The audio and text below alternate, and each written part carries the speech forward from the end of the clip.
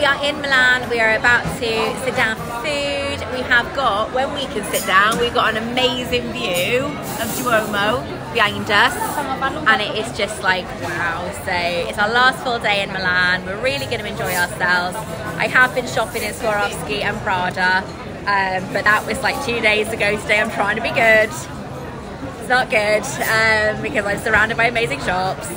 Uh, oh, don't forget we want to go back into that that shoppy again, the one that looked like Macy's from New York, because you wanted to have another look in there for something.